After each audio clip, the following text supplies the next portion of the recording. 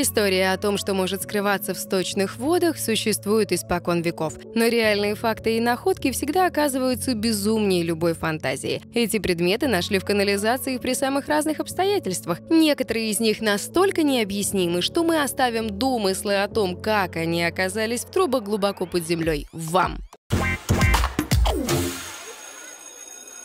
Автомобиль. Неожиданную находку сделали коммунальные службы Нового Орлеана, США, пытаясь выяснить, по какой причине дренажная система начала хуже справляться с отведением воды. Повод для беспокойства коммунальщиков появился после очередных сильных дождей, которые прошли в городе. В одном из районов города вода плохо уходила в дренажную систему, вызвав тем самым потопы на улицах. После этого городские службы решили разобраться в причинах. Для того, чтобы изучить туннели, по которым во время дождя отводится вода, специалисты запустили под землю специальный аппарат с видеокамерой. Каково же было удивление специалистов, когда на кадрах из туннеля, помимо обычного мусора, они смогли рассмотреть как минимум один целый автомобиль. При этом не исключено, что число машин, которые забили один из основных водопропускных каналов, может оказаться большим. Представитель городских служб пояснил, что пока неизвестно, сколько времени машины находились в этом канале и как они туда попали. По предварительной версии, автомобили могло смыть под землю потоком воды через открытые части части дренажной системы.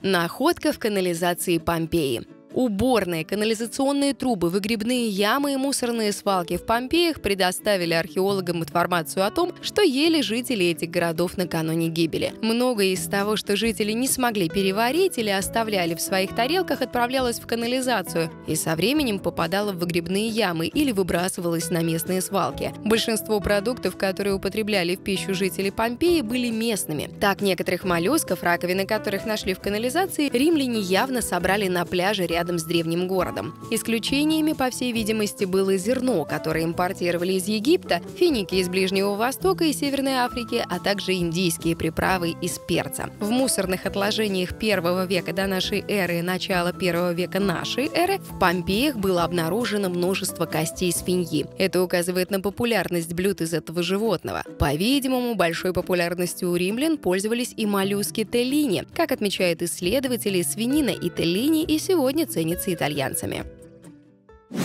Золотая рыбка.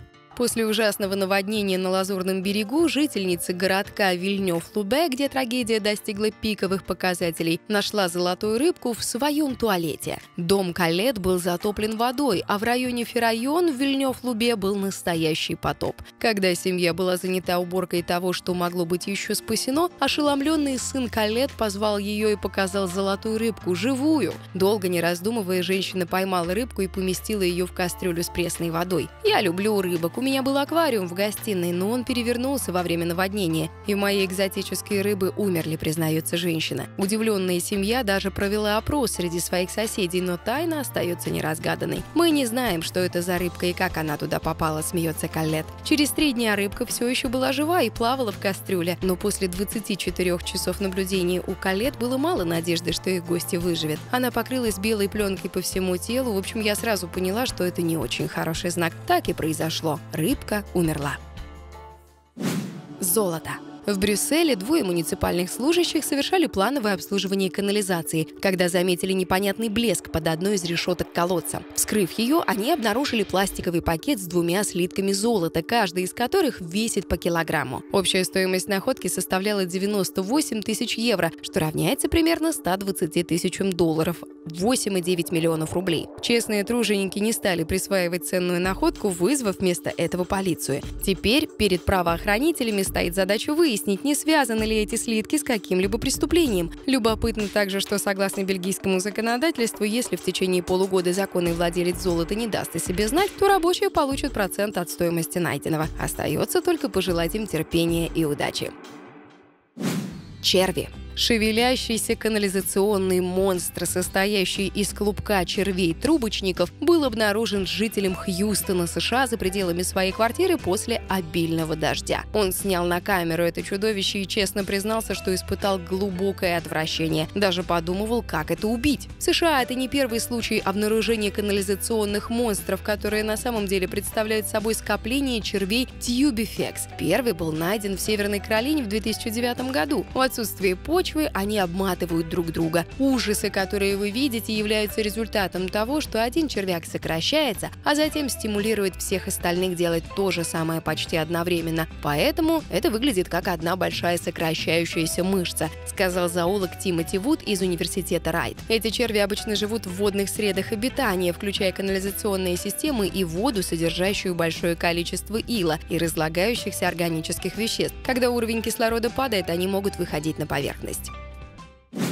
Фатберг Фатберг – это плотные комья застывшей массы, состоящие из жира, тряпок, одноразовых салфеток, туалетной бумаги и прочих бытовых предметов, которые люди продолжают смывать в канализацию каждый день, несмотря на многочисленные запреты. Подобные образования являются причиной большинства поломок и засоров любой старой, а часто и новой канализационной городской системы. Огромные пробки из человеческих отходов полностью закупоривают трубы, которые в конечном итоге рвутся и расплескивают зло зловонные воды на улице города. В 2013 году сотрудники английской очистительной службы обнаружили в Кингстоне огромный фатберг – 12 с лишним тонн жира и слизи, покрывающий гниющее органосинтетическое месиво. Но даже эта находка меркнет в сравнении с тем, что было найдено позже в Уайтчепеле. В канализации выросла настоящая колонна из смрадных отходов, вес которой составил порядка 130 тонн. Она блокировала участок Викторианского океанской канализации длиной в 250 метров, то есть территорию в два раза длиннее футбольного поля. Это был самый большой в истории Фатберг на убор. Это был самый большой в истории Фатберг, на уборку которого брошены все силы городских коммунальных служб.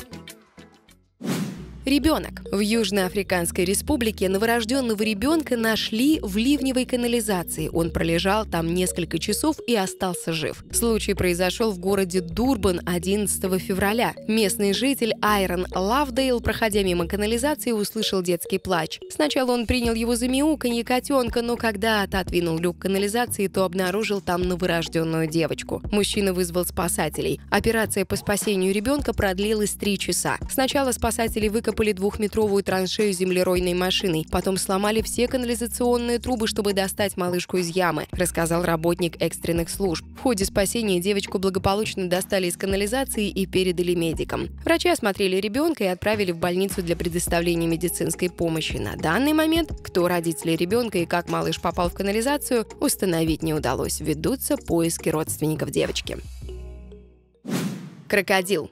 В Огайо, США, церковная группа, в которой было более 10 детей, играла в ручье около 19-30 часов, когда один из прихожан, переходя мост, увидел в воде вниз по течению темный силуэт. Силуэт приближался к группе плещущихся детей, и мужчина закричал всем, чтобы они скорее выходили из воды, потому что понял, в воде смертельно опасный хищник. На место происшествия прибыл офицер департамента дикой природы Брэд Тернер. По его словам, крокодила пришлось убить из-за соображений общественной безопасности, безопасности. Тело крокодила размером около двух метров было отправлено в Колумбус, где Министерство сельского хозяйства штата Огайо будет расследовать этот инцидент. Пока не ясно, как крокодил попал в Бантесфорк, проверяют, был ли он чипирован как домашнее животное. По словам офицера Тернера, найти крокодила в Огайо – большая редкость. Это был первый крокодилий вызов в его 12-летней карьере. Офицер посоветовал, если вы видите аллигатора или крокодила в дикой природе, позвоните в местные правоохранительные органы или сотрудникам Департамента дикой природы.